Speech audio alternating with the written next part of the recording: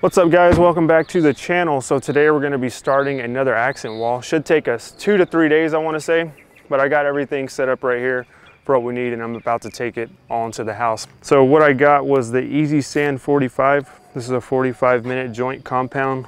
It cures in 45 minutes, pretty obvious there. Got me a five gallon bucket here.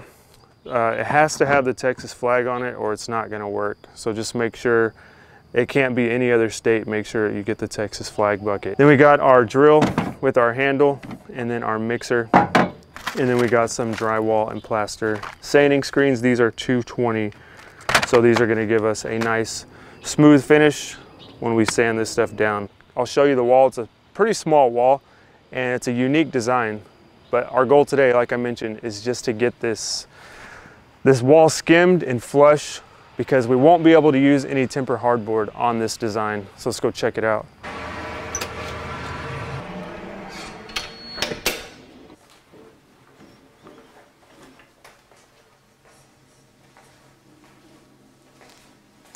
All right, so here's the wall. It's an 11 by 10 wall. And down here in Texas, we have a lot of this. It's called knockdown texture.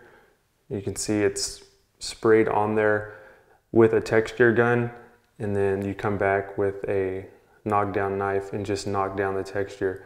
So you get these kind of, you know, the, the pieces of splatter that are, have landed on there.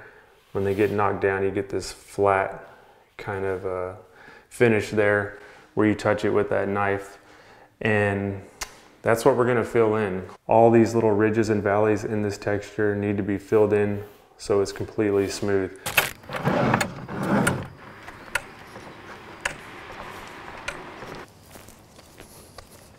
And that should be good to get started. Now we're just waiting on John. I can't start without John. It's another uh, one of those tools that you need. You gotta have John. There he is right there. We can finally get started.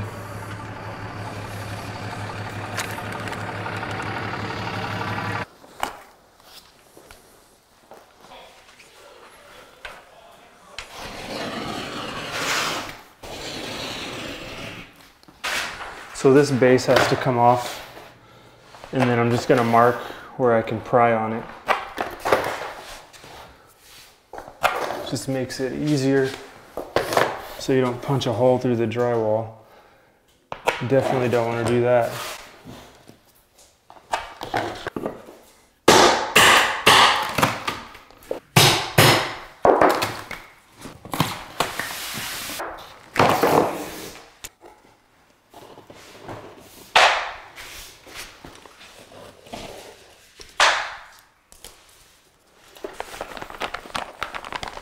So what I'm trying to do here is put enough of this in there to make it like pancake batter.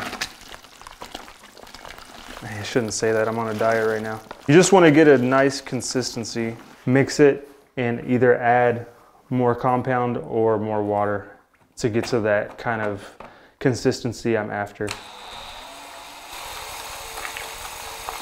And once you start mixing it, you can easily tell what you're gonna need more of. That's obviously way too watery. We'll just add more compound.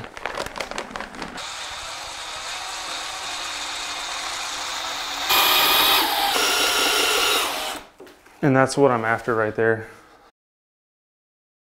So we got 45 minutes to work with this stuff, giving ourselves plenty of time. And essentially what I'm trying to do is fill in all of that knockdown so I'll just put it on here. What I can do is just glide over it and then just push that material so it fills in all those little voids. And then we're gonna do that across this wall two times. We'll float it out really nice and then we can sand it down to where it's super smooth. So just off that first little section that I did, you can already see how flat it is, especially up against the natural light that we have coming in. So it gets flat real quick and we're gonna go ahead and finish this entire wall with our first coat.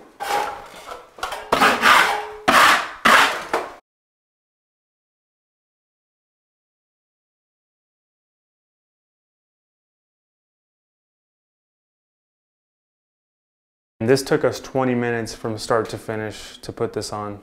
So really not too long. We're gonna clean our tools off, get ready for the next coat, and we're probably gonna sand in between the first and second coat and definitely after the second coat.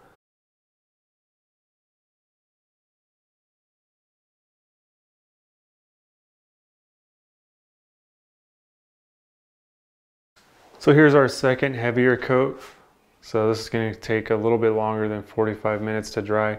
So while that's drying, we're gonna go ahead and snap the lines, make sure we've got this thing laid out the way we want it to before we start cutting boards tomorrow. And we may be able to sand this today, but depending on how long it takes to dry, uh, we may just do it in the morning because we really just laid this stuff on there super thick. So I'm not really expecting it to take 45 minutes at this point. But we'll snap our lines and see if she's good with it, and then we can move on.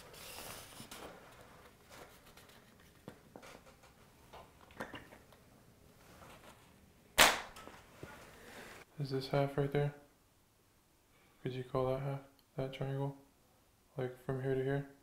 Just put that in half, right? Minus 3? Oh, I was doing it divided by 3. Okay. Oh, this thing is like a little bit of a rectangle. Yeah, that's what I'm saying. We need to, like, see how far. I'll stop on 110 and a half.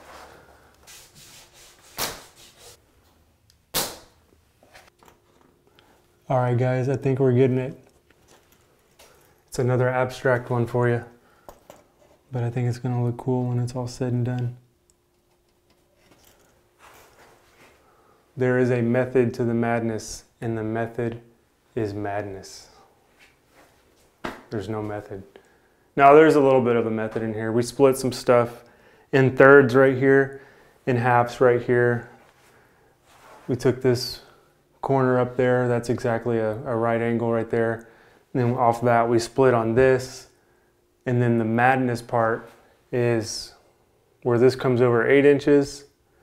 So let me back up. These blue lines represent one by twos and all in between these there's going to be a, a trim board one by two so this one is eight inches from that but this one's going to be six inches and then this dash line right here is not going to be a trim board that's my imaginary line to find the middle to get these two boards so it's a brain buster but we're figuring it out and it's going to be a unique one all right, so I just realized you guys really can't see the blue lines on the camera, but trust me, they're there. There they are. You can see them when I get closer. But as you can see, this is kind of an abstract design. So we got boards kind of shooting everywhere, but it'll make more sense whenever I get the actual boards on tomorrow and you can see it. And you guys can let me know what you think. But I like the design so far. We're gonna go see if we can get approval and then move on.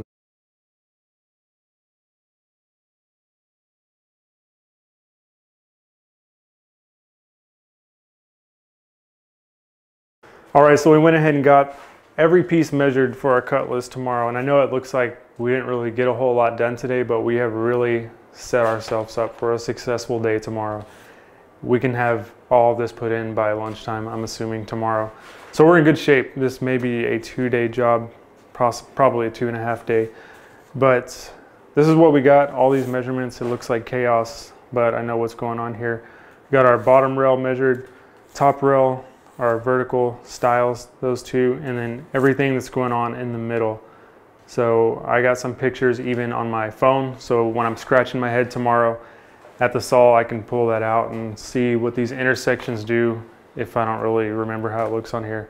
And then I got a note to myself right here too don't screw up because I don't want to have to recut all these custom little pieces. It's not too bad though.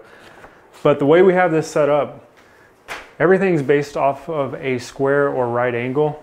So that being said, every cut that I'm gonna make tomorrow is either gonna be a 45 or a straight cut. So this intersection right here, this is a 45 and then that's a straight cut. This right here, all straight cuts and so on and so forth. So it's pretty basic and it's, it's just nice knowing that it's all gonna work out like that.